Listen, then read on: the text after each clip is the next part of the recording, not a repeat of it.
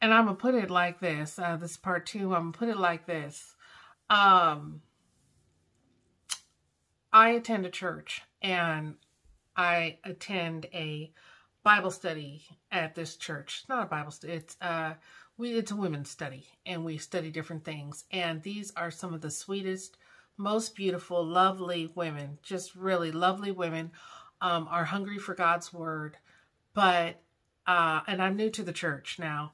And I was shocked, blown away, taken aback by the amount of um how can I phrase this? Uh, by what a lot of what these ladies, uh, uh, many of whom are older than me, um, are not familiar with in the Bible. And and I'm, I'm not saying they're at fault for that at all. What I am saying is um, there are too many churches out there, these modern Christian churches, which are not teaching the fundamentals.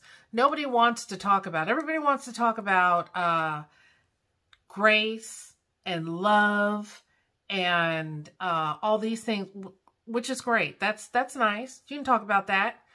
But in in when you talk about love, though, you also when you talk about Jesus, you have to talk about Satan because people are sinning and they are falling victim and engaging, first off, they're engaging in all these things which attract Satan to your life and bring him into your life.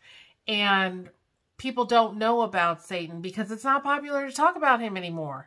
we have gotten away from the fundamentals. So we just want to talk about happy, fun, uh, wealth and health and, and lifestyle things in church. And we've gotten away from the basics. So you have all these people who are committing suicide. You have people who are dying who do not know how to call on the Lord. They don't know how to say an effective prayer. They don't know uh, those old time hymns that drive Satan away.